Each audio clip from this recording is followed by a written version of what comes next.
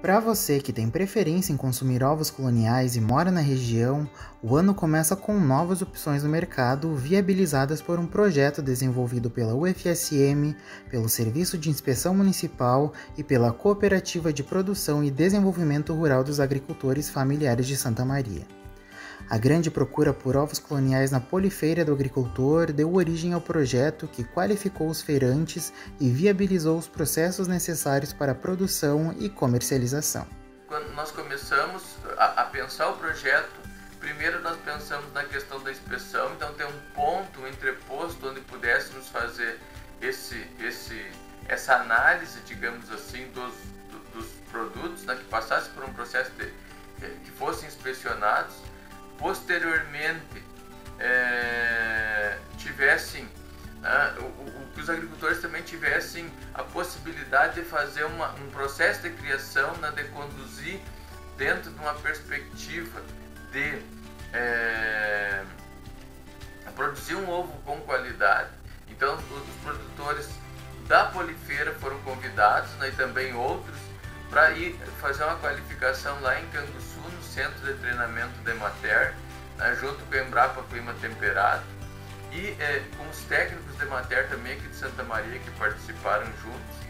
E depois disso nós começamos então o fomento a alguns produtores. Então as nossas ações hoje elas vêm de prospecção de mercado, de conexão das, do, do, do, de, da busca talvez da reconexão das pessoas com a comida pelo um conceito e por um conjunto de elementos que sustentem é, a decisão de consumo, né? que as pessoas sejam reflexivas no ato da definição né? de por que, que, por que esse alimento e por que não, e por que não um ovo convencional comum. Né? Segundo dados da Secretaria de Desenvolvimento Rural de Santa Maria, a população santamariense consome em média 10.036 toneladas de ovos ao ano. Dessas, 8.991 não são produzidas na região. O projeto envolve 12 produtores de 8 municípios que criam aves em condições livres de gaiolas. Então nós vamos falar em, gado de corte, por exemplo, vamos falar do pasto nativo, do campo, né, onde o animal consegue de fato é, expressar as características naturais deles. Então na avicultura, e aí nós vamos falar especificamente da avicultura colonial, é, o que, que é interessante, né? É que remete ao consumidor essa certeza, essa condição né, de que os alimentos estão sendo produzidos numa qualidade diferenciada daquilo que eu já afirmei que é a produção industrial.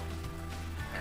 Então a população tem buscado isso, tem esse sentido de conexão também com o território, mas especialmente a preocupação com a alimentação mais saudável.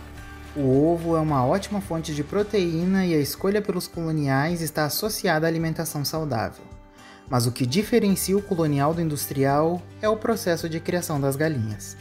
Na medida em que tu permite que os animais expressem suas características naturais, né, é, viver menos condicionado por essa questão do ovo, digamos, industrial, que o, que o, que o animal fica encerrado.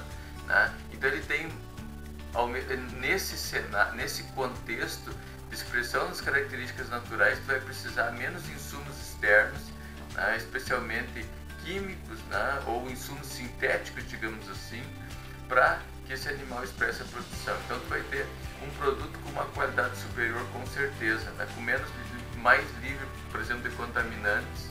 Né, é, e é claro que aqui nós estamos falando, esperando né, que esse ovo também tenha as condições sanitárias adequadas, mas que respeite o, o que respeite o, a natureza do ser que está produzindo.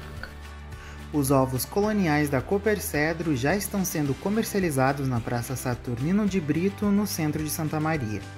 Na Polifeira do Agricultor estarão disponíveis a partir do dia 9 de fevereiro.